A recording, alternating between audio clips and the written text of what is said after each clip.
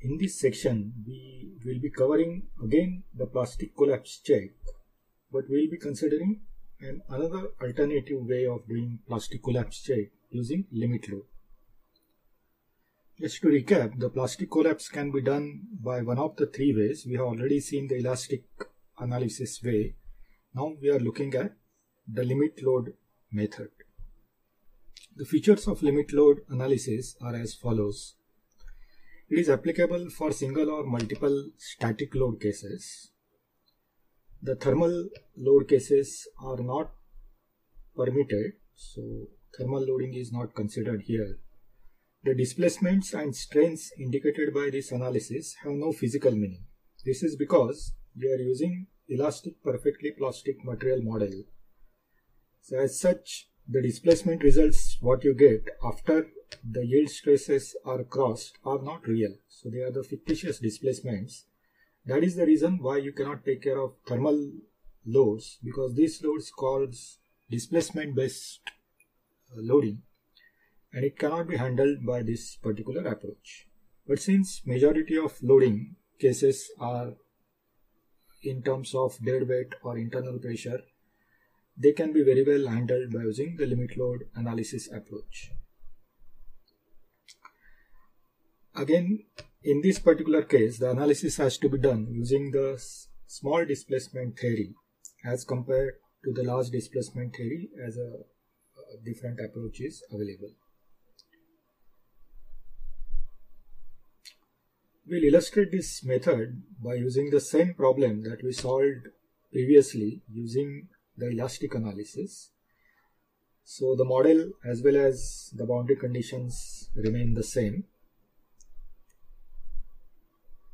The difference comes in terms of the definition of the material as elastic perfectly plastic material. In this case, the analysis is done using the Abaqus platform. So the interface or GUI you will find little different. So you need to consider the material's yield strength while defining this particular material model. Although the interface shown here is that of Abaqus, the same or similar features are available in ANSYS as well. The material model as shown here, so this is the strain axis and this is the stress axis. Initially you have stress strain curve which is straight and then after the yield strength you are having the stress strain uh, variation in the form of a flat horizontal line. Also you have to tick the small deformation theory option in the analysis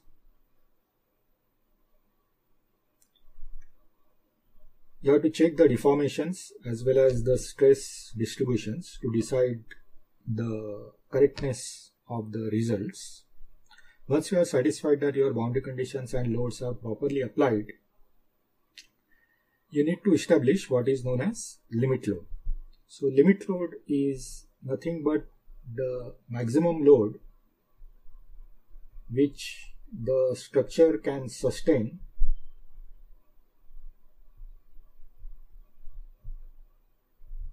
without collapsing. So although physically we are looking for collapse, numerically in the finite element analysis we'll keep on increasing the load. So in this case the load is internal pressure. So we keep on increasing internal load till the time the, the finite element solution or the numerical solution is handled by the software at one particular load which is known as limit load the finite element software will not be able to converge to any solution.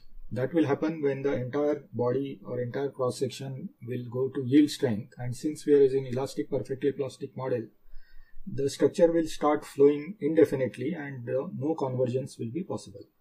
That is considered as numerically obtained limit load.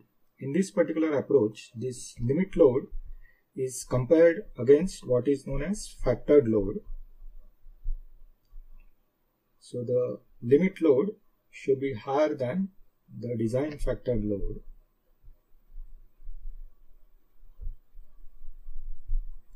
So for example, if your design load is 1 unit or 1 bar pressure, the design factored load will be the design pressure multiplied by a factor which is defined by the code. So in this case, the for limit load analysis, the factor is 1.5 times the design load or the design pressure.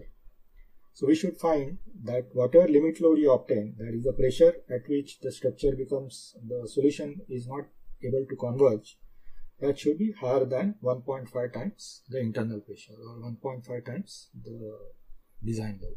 So that is the summary, in summary the approach which is being used.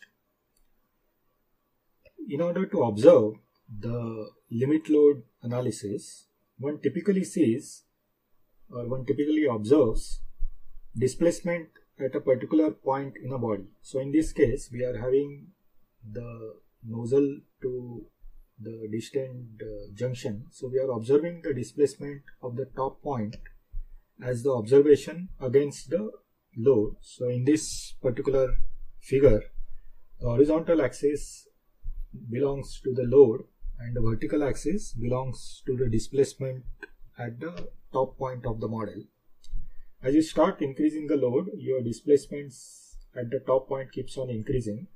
At one particular point, it starts increasing very sharp, at very sharp rate, and at certain load value, that is certain value of internal pressure, it becomes extremely high. So that is treated as the non-convergence points or the limit load point. So in this case, on the x-axis, we are plotting the ratio of the actual the pressure being applied on the model to that of the limit pressure that the model can handle without uh, getting uh, non-converged. So we can observe here that uh, the variation is uh, as shown by the red line the limit pressure that we obtained by this analysis is calculated as 5.7 MPa. And in order to satisfy the ASME criteria, this limit load should be higher than the factored load. That is 1.5 is the factor which ASME prescribes for the limit analysis. So 1.5 times design pressure is 4.35 MPa. And this is smaller than the limit pressure that we obtained that is 5.7 MPa. So that indicates that our vessel is safe against the plastic collapse by using the limit load approach.